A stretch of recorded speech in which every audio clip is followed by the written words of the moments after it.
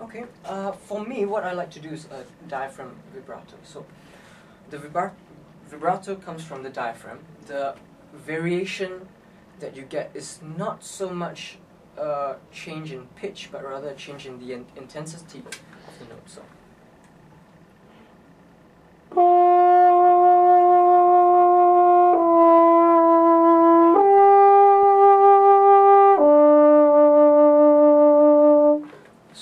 The is coming from here. In most cases, in fact, a lot of composers don't even um, specify vibrato. But if they do, it's often the player's decision whether to use a diaphragm vibrato or a lip vibrato, which would be.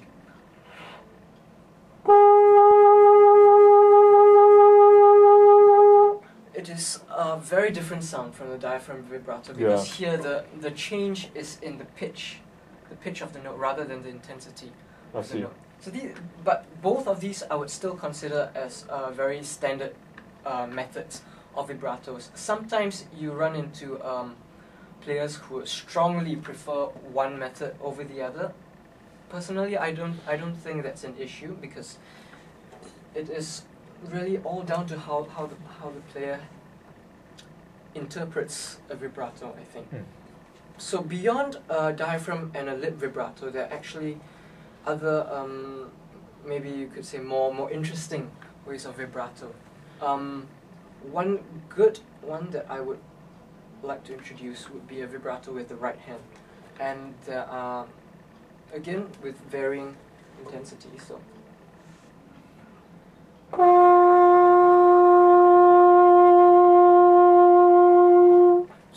So, it's- it's- So what were you actually doing with your? so what I was doing in here was basically doing this. Okay. So when, when we use the right hand, we use the right hand all the time to, to adjust intonation, to stop uh, stop notes, uh, that sort of thing. What I was doing is going from. I was basically adjusting the intonation very quickly Okay. using that. I was not going to uh, use a stop position. Actually, you can, but the effect is again very different, much more dramatic.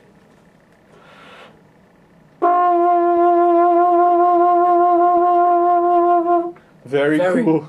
Very, very dramatic uh, Yeah. difference.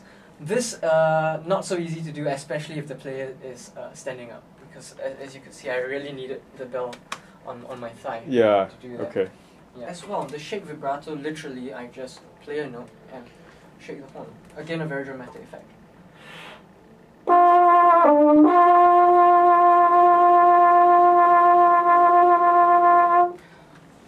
Um, Cool.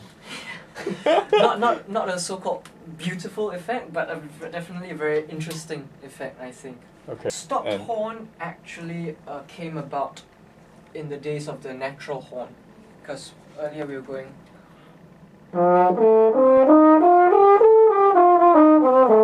And soon, sooner or later, um, they realized that you could get pitches outside of this by adjusting your hand, so you could get.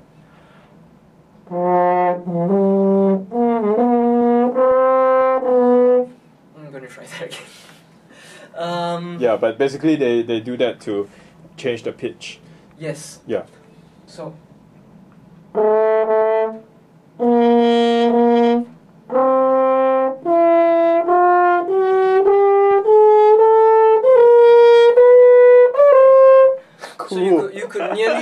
nearly get nearly a chromatic scale by uh, Yeah.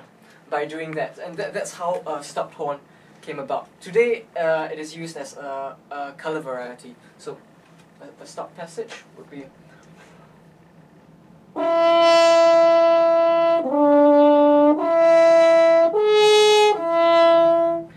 It's a very. It is an interesting tone color. It has been very widely used. The one thing actually that I like to um, bring up when talk when talking about stop horn is the issue of range because be- below a certain range it gets very difficult to hand stop. So and that for me would be the limit. Any lower than that gets very difficult to stop.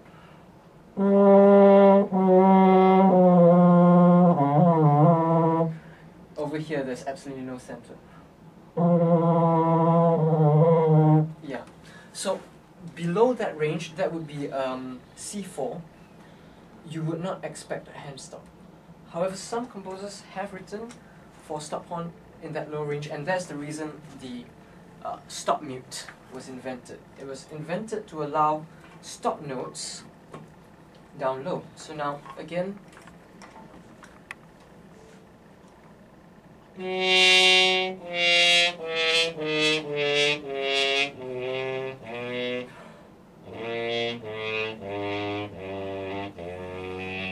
So basically, you can do all I the can notes. stop all the way down. I see, but you need time to let the players. That's You the thing. insert you need and- time for for the player to pick up the mute and put it in. I see.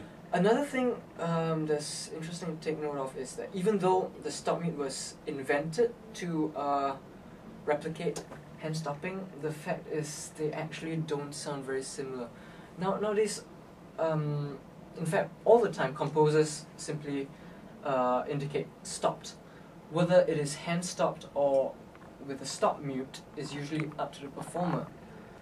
I think it would be actually quite interesting for composers who, are, who, have, who really desire a specific tone color to specify whether they want a stop mute or hand stop because actually they I don't think they sound very similar at all. So Yeah.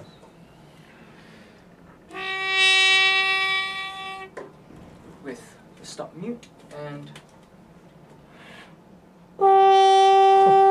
Very different. Yeah. very very different and it, it was designed to imitate hand stopping so maybe a design issue or whatever but it is very different and I think So to if we want the I know we put a plus sign right, Yes. but if we want the metal mute, we just write we just make sure we write metal mute or something.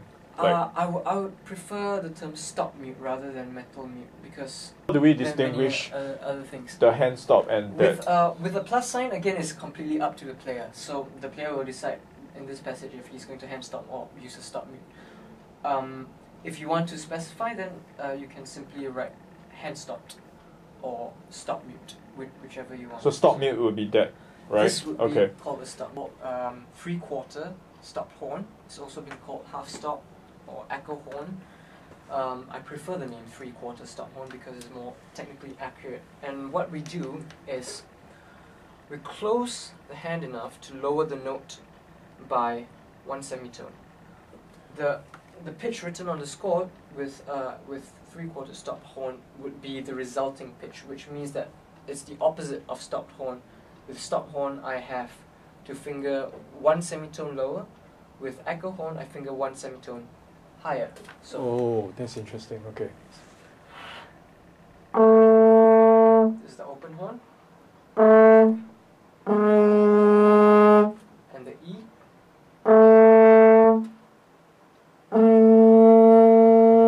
So that would be E4, three quarter stop. As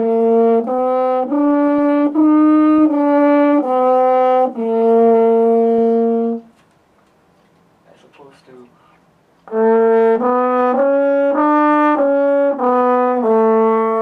a regular open horn. So it, it has The the the quality is different between the the tone quality is different between half and three quarter. No? Absolutely, absolutely. Okay. With, uh, with three quarter, one of the reasons why it's also called echo horn is because it does sound like like an echo. So Yeah.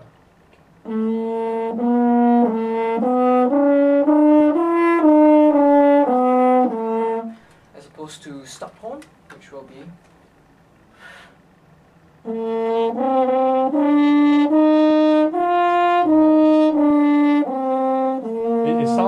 this metallic there's this metallic bass. stop stop horn is always very metallic, whether you use hand stop or stop mute. So yeah. in fact, Uh, I was gonna ask you. Sure. stop mute. Go ahead.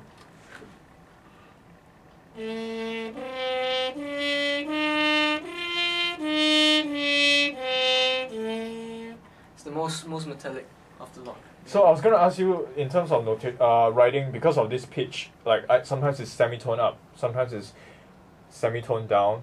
Do we just write the? Do we just write Just- what we want? Just what we want write the pitch you want to hear. absolutely. and then the French horn, w- the, player, will. will will decide. Will, will- will handle the transposition. Okay.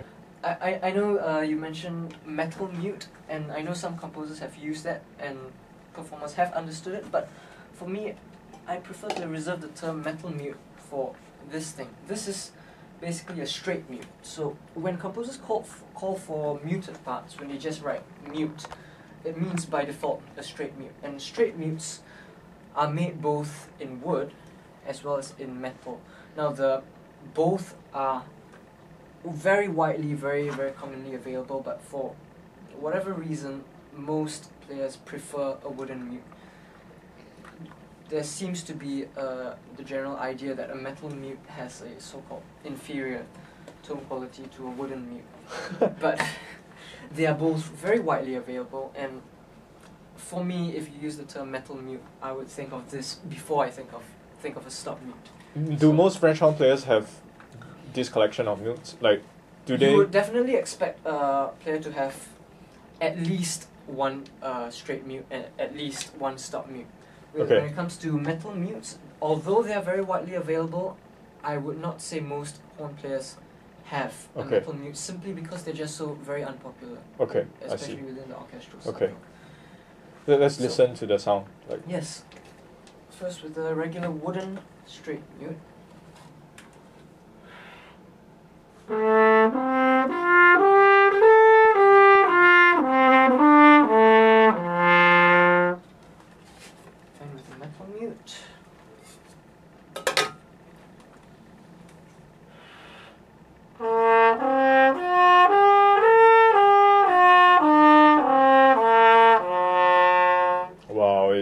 It's it's like a Again. totally different. Yeah, Again, it's totally different, different. instrument. Yeah. and yet they are both marketed as straight mute.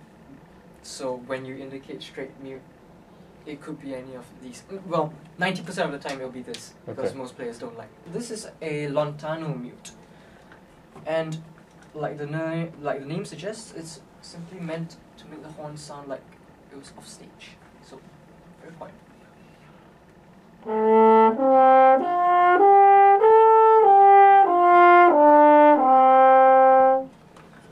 There's actually not that much difference in uh, in tone color. Most of the difference is in projection. So versus the regular open horn.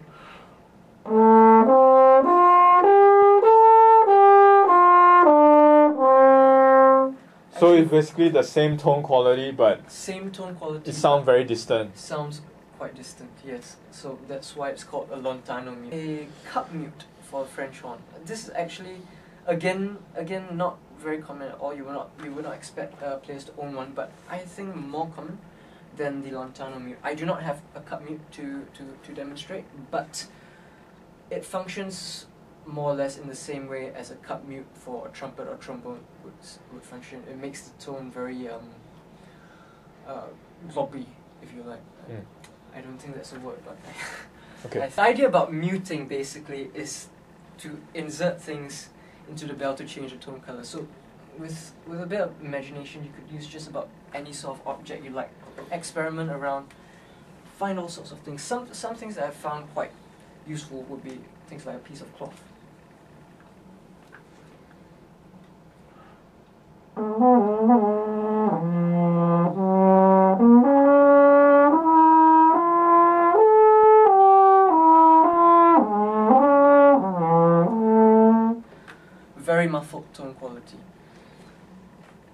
And of course, you can always experiment with holding it in varying degrees of insertion, that sort of thing.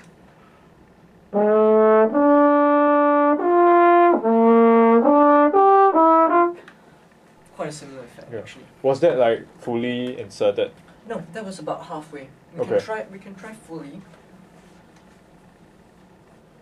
As I mean, as in like covering the oh, entire. covering? No. If I, if I covered the entire thing, it would be very difficult to play. Oh, okay. Yeah, it, it doesn't I see. really. So you must really make sure you- I, I do still need a little bit of space. I see. Okay. Okay. yeah. Cool. We can put it. Let's just try it. I think it's got to to do with the metal vibration, right? Yes, The cloth. Yes, there's something about it dampening the vibrations, making it sound very muffled. Uh, glass bottles have actually been asked for before.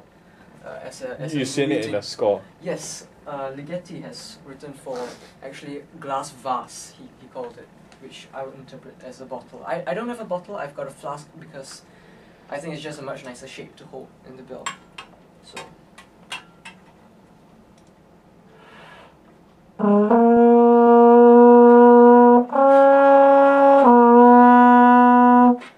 intonation is a big issue with this, but you have to experiment with varying varying degrees of insertion. I'm going to try a little bit more open.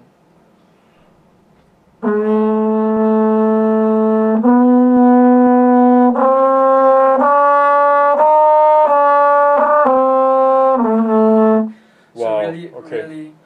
this is uh, with with objects such as a cloth or a glass bottle. You, I think it would be fair not to expect any degree of um, accuracy in Intonation. terms of Yeah. intonation or pitch. It's very much a tone color effect. I think he was trying to get a echo, like trying to get a re. I don't know, The- like the sort of resonance reverb- into the- yeah. sort of effect. in, back into the instrument or something. Like, I think he was trying to get that. Very interesting. Yeah, Yeah, because the sound waves will go back they, to they sort of just get reflected rather than passing Yeah. through. Yes. closing and opening. Uh, like tr- three quarter stop and open, three quarter stop and open, or, or half. I don't know. yeah.